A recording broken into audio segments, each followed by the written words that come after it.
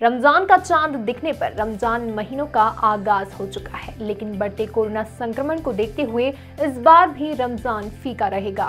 Corona guidelines के अनुसार मस्जिद में सीमित संख्या में लोग नमाज़ अदा कर पाएँगे। इसके साथ ही सोशल डिस्टेंसिंग और मास्क पहनना भी अनिवार्य है।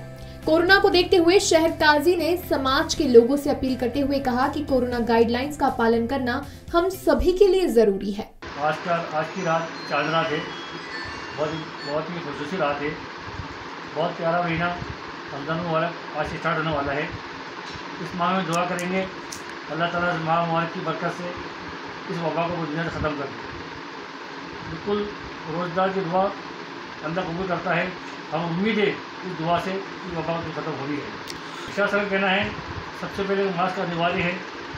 सोशल डिस्टेंसिंग करना है। और मस्जिदों में नमाजों को सीमित संख्या में मस्जिद में आना है। ताकि अफ्तार पार्टियाँ बिल्कुल बैंड रहेंगी। सामूहिक प्रोग्राम बिल्कुल बैंड रहेंगे। बता दें कि पिछले वर्ष भी कोरोना के चलते रमज़ान फीका रहा था। मृदुभाषी के लिए आगर मालवा से जहीर खान की रिपोर्ट। मृदुभाषी से जुड़ने के लिए वीडियो को लाइक शेयर और सब्सक्राइब करें। खबरों के नोटिफिकेशन के लिए बेल आइकन दबाना ना भूलें।